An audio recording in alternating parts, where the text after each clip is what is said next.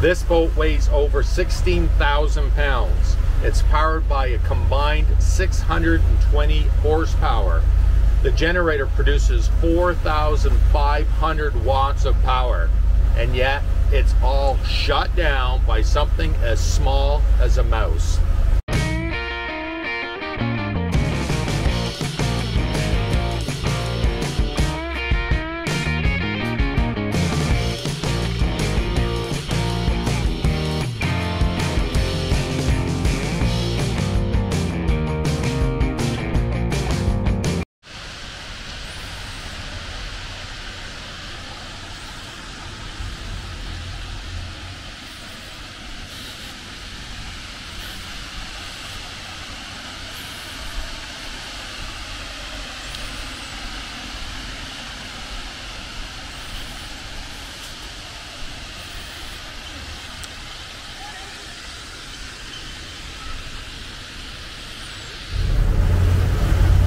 So, yes, we have yet another beautiful day, and sort of sadly, we are going to be, this is going to be our final travel day for our, our uh, cruise 2021 because we have to go home. It's, it's a day earlier than we were expecting to. Today is Tuesday, right? Wednesday. Sorry, Wednesday.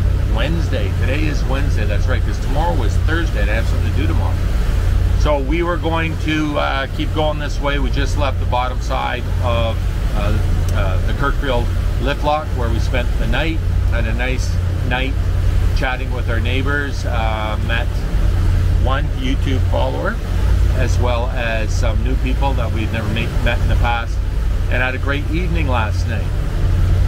So why are we going home earlier? We were gonna carry on this way and stay at one more lock for the night because it's supposed to be again beautiful day as it is and tomorrow sunny day. So the reason that we are having to cut it short is because that aforementioned thing that's as small as a mouse, it's a mouse. we got a friggin' mouse on the boat. Two o'clock in the morning, sound asleep, and all of a sudden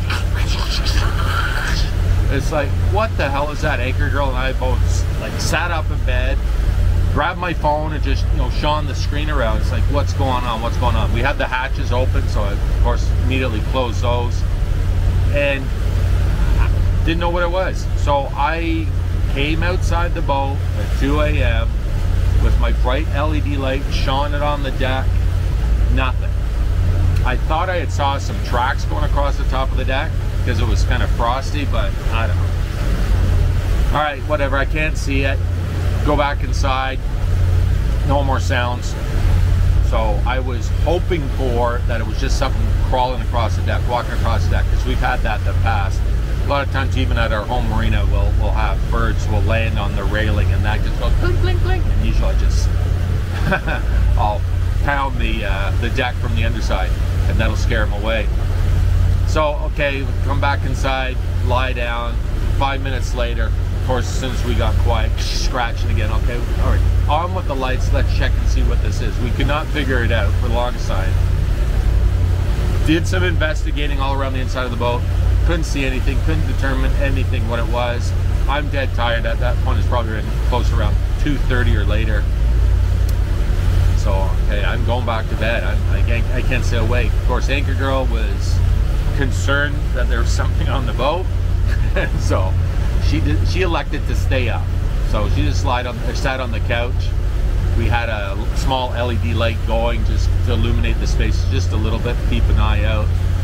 And all of a sudden, yep, there it is, a mouse appeared. We have a little wicker basket that we keep munchies and that in and it ran across. She saw it. Okay, on with the lights again. Now we gotta really investigate, try to find out where this little bugger is. But it's a mouse, so he doesn't want to come out. He's frightened. He does want to come out, but he doesn't want to be confronted by people. Of course, we've got a built-in mouse chaser on the boat. Well, yeah, not so much.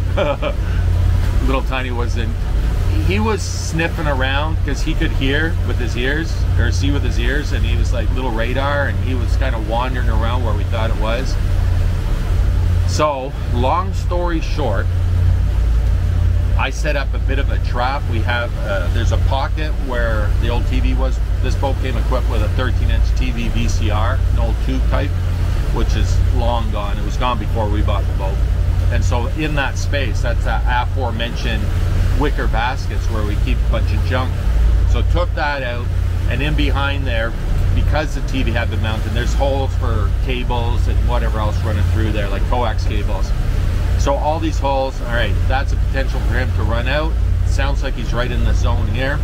So I took masking tape and I taped up all the little holes and said, all right, well, we'll just leave them, contain them.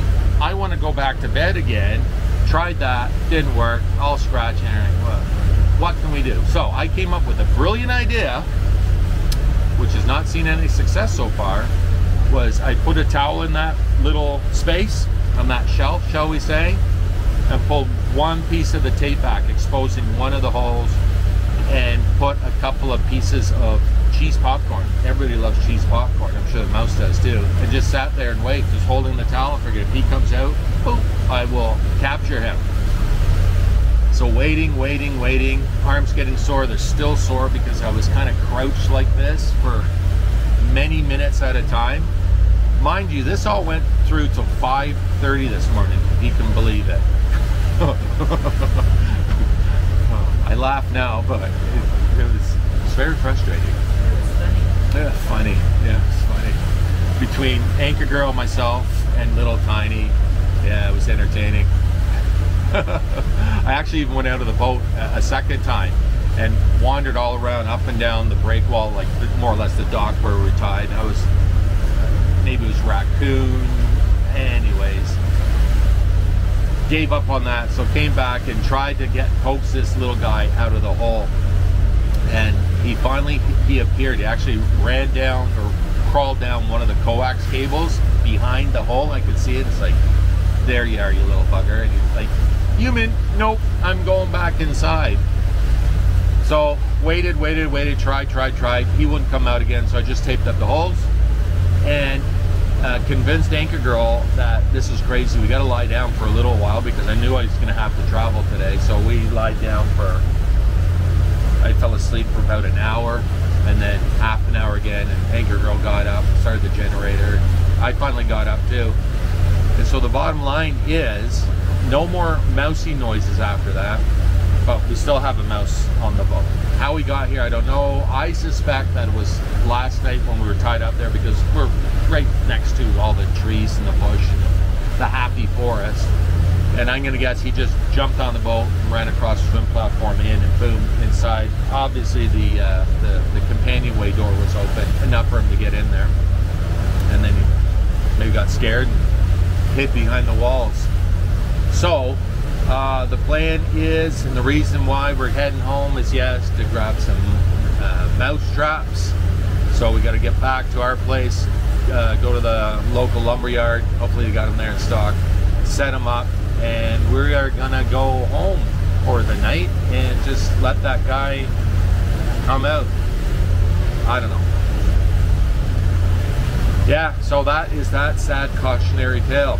Um, so we're gonna trap him get him off the boat and then just spend the rest of our time and the weekend on the boat. Um, I had planned to that we would come back tomorrow, Thursday afternoon, so that we would be there for Friday because we're supposed to have two more. Well, today, Thursday, and Friday are supposed to be lovely sunny days, zero chance of rain, and then after that, as far as you can see, it's going to be rain every day. And I got to take the canvas off and give it a thorough wash job. It, it's gotten really, really dirty again. And do that waterproofing. Of course, I have to have a dry day. Sunny, not necessarily, but dry. Sunny helps. So that's going to be the better part of the day to do that job and uh, put that all back together before the rain comes. So yeah, like I say, it's a beautiful day. Really sleepy, really tired today, but we are working our way home. We got another five blocks, I believe it is, to go through. It should take us about two, two and a half hours. From this point, we're right now in Canal Lake and uh, back to our marina. Uh, I'll check into you, with you, as we go. Mouse. That's a first.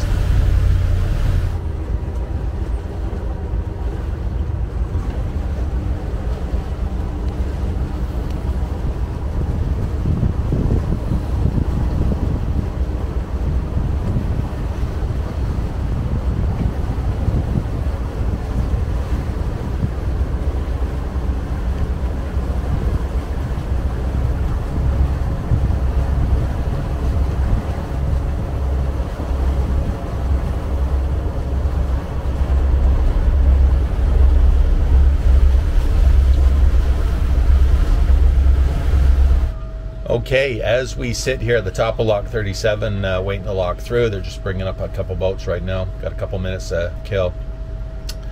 Anchor Girl uh, reminded me to mention to you that we, I don't know if I shared it, but back when we were at Lock 44 at the bottom of the uh, Big Chute Marine Railway a couple weeks ago, first time we had seen a, a, mouse on a boat and it was really it was quite comical because it wasn't happening to us what happened we were sitting on the dock and a small boat pulled up with a i think two couples like looked like mom and dad and, and, and their adult kids and they left the boat and they went up i'm guessing get ice cream or whatever and i was sitting there and all of a sudden i saw a mouse run pop his head up run across the dock line jump on the dock and start scurrying along the dock. So I started chasing that little bugger because I didn't want him to come over to our side of the dock, up our lines, and into our boat.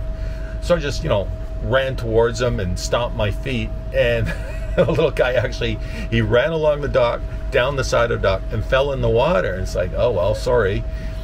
But he swam along, then up on the dock and kept going. But he climbed underneath the dock, so I couldn't get at him. Tried to scare him, but didn't see him. So maybe half an hour, an hour later, I told Anchor Girl that because she didn't see it. She was on the boat. And I said, Wow, this is what happened. It's like, Really? You sure it was a mouse? Yes, I'm sure it was a mouse. So just sitting there, like say maybe half an hour, 45 minutes later, that little bugger pops his head up through the dock, runs towards that same dock line, across the transom of the boat, and fell down. Jumped inside the boat.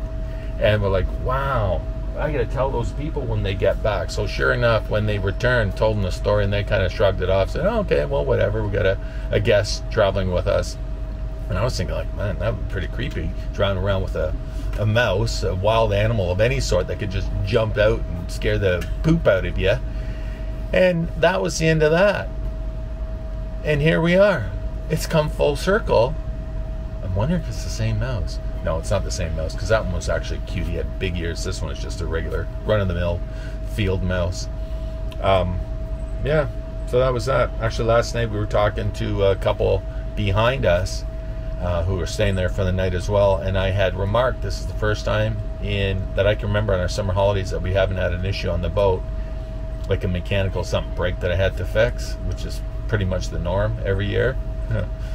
so, Anchor Girl says I may have jinxed it by saying that, and now we got this bugger who is. Like I said last night, I said if this if this something was broken, I could fix it, and we'd be on our way. But I can't fix this until we get the uh, appropriate tools. Mouse traps are not part of my not part of my arsenal, so we are going to get extras just in case.